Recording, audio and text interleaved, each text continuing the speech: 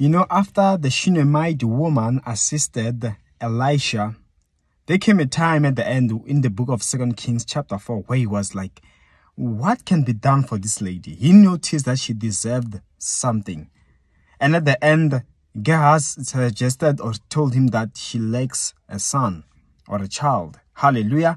And as a result, he just spoke a word and was like, by this time next year, you'll be having a child.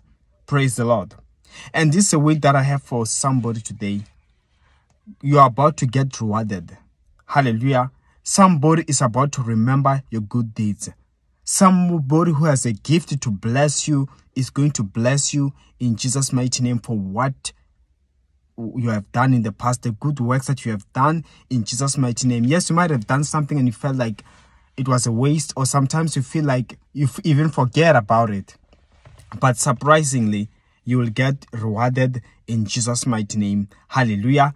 May you receive this word in Jesus' mighty name. Please open up your heart that indeed let somebody surprise you with something you are not expecting in Jesus' mighty name to something which you are just doing out of generosity. Be blessed in Jesus' mighty name. And of course, that's all I had. Bye.